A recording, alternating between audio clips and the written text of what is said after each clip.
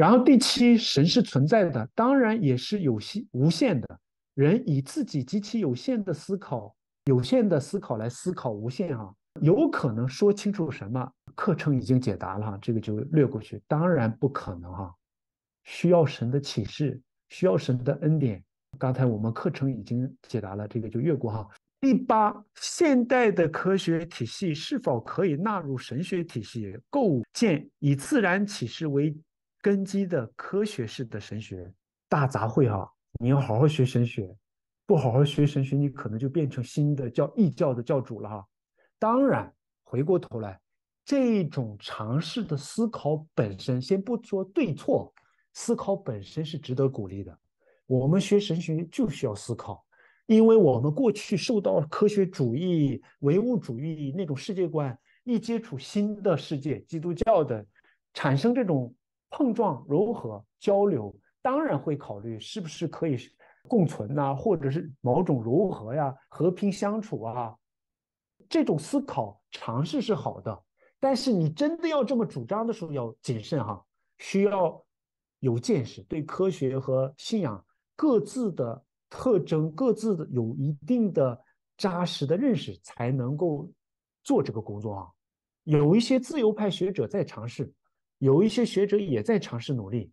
但是他们谨慎，不在损伤、违背基督教信仰的前提下，尝试着去做沟通。巴温克用十八世纪、十九世纪的他们的学术方法去做正统神学，所以他做了一些实实证的方法，历史的实证。历史上，呃，你读他的书的时候，呃，这个历史上这个人观点、那个人观点，然后又解经，然后又教理，这样处理，这种方法本身。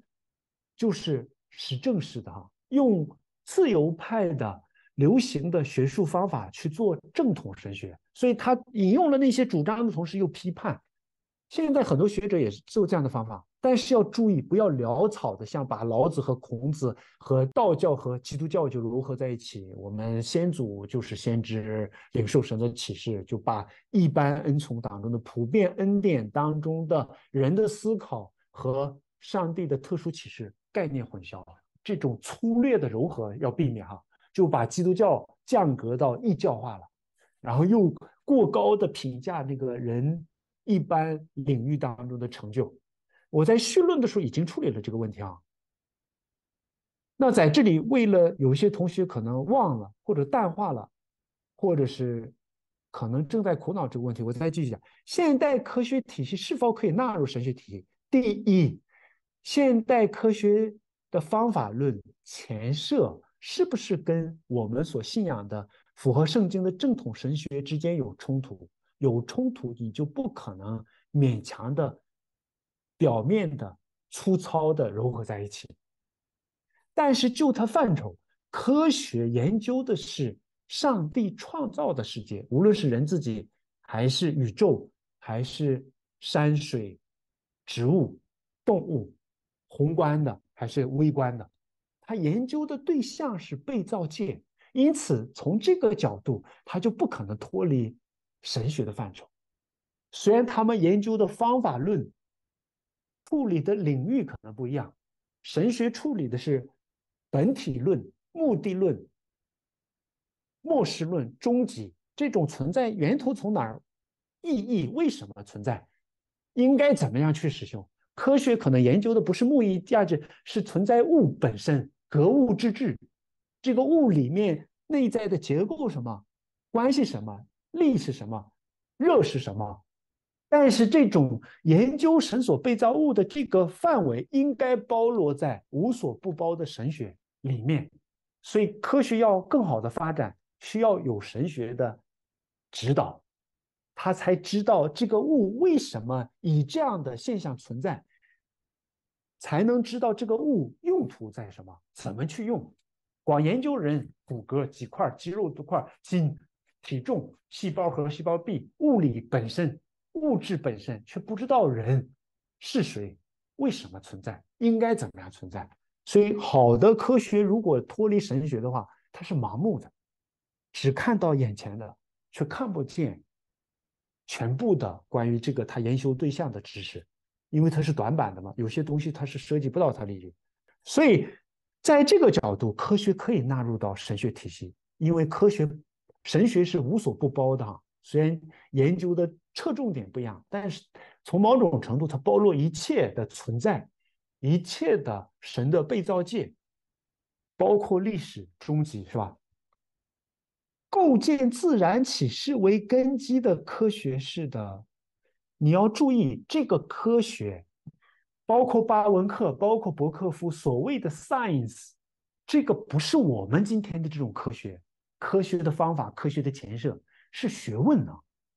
你做科学也要学问，科学的科学；你做神学也要有科学的神学。这个科学不是我们所唯物主义的科学啊，实证主义的科学，而是要按照。合理的、合法的做神学的合合理的方法，导出合理的神学结论，所以它也是一种学问，它不是盲目的人主观的迷信，他也要用合理的逻辑、程序、方法获得他的资料，得出合理的结果。所以神学也是学问性的，不是科学实证主义的科学哈，也是科学的。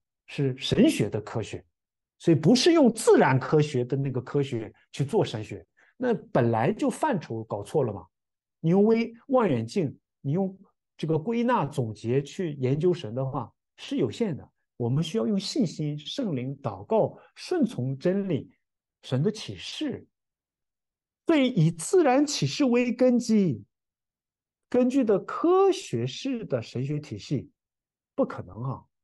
自然启示需要超自然启示、特殊启示才能够更正确的明白自然启示的意义，因为自然启示的有限性，它告诉我们神的存在、有能和神性，但是它没有告诉我们万物的秩序、意义、目的、价值、人的罪、人是谁、应该怎么样去生活，所以需要特殊启示去补充保保全，单纯依照自然启示不够的。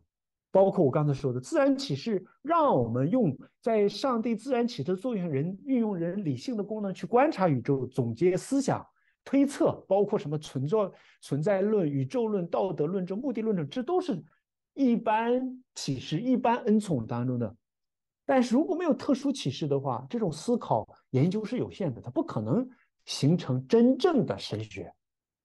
罗马书一章里面，在自然启示的结果下，人都导致了这种拜偶像，人的心性。那即便是重生的基督徒，如果单靠自然启示，也不足以获得真正的神学。所以，自然启示的不充足性，有充足性，就他上帝赐下的目的本身是充足的，就获得救恩的知识，它是不够的，需要特殊启示。所以，单纯依靠自然启示建立起来的。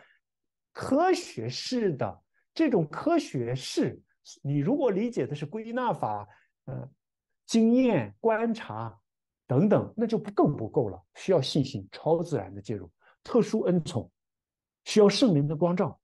但是做这种超自然的启示的圣灵光照，它也有它自己的学问的原理，这是我们导论里面已经讲过的哈。所以，这个科学是不是我们认为的科学是？是神学本身认识神本身的原理，它有它认识论的原理法则。这样的科学式的，我们可以认同啊。但是，根据自然启示为基础的，当然你是说到前面的现代科学的那个科学式的，对不对？所以这两个不能融合在一起哈。所以你要认识世俗文化科学研究。它到底是什么？它的长处、它的局限，它是什么？它本质是什么？它的局限是什么？你就不会草草了了的把信仰和科学融合在一起。科学研究的某些方面可以为神学效力，造福人类，但是你要把它融入到神学里面，因为它们里面内在的原理就不同哈，范围也不同，局限性也。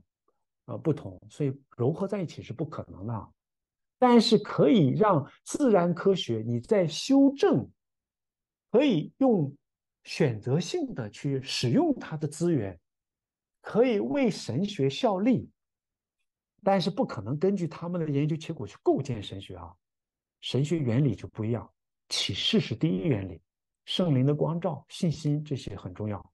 离开这些谈什么人理性的研究啊，脱离圣灵的引导等等啊，单凭人的理性研究，这是永远不可能、遥不可及。我们刚才谈到了神的不可知，神可知，但是需要什么啊？上帝自我的启示嘛，然后又按着圣灵的光照、信心、圣经啊，虚心的想，然后才能获得对神属性的知识，这是神学的原理吗。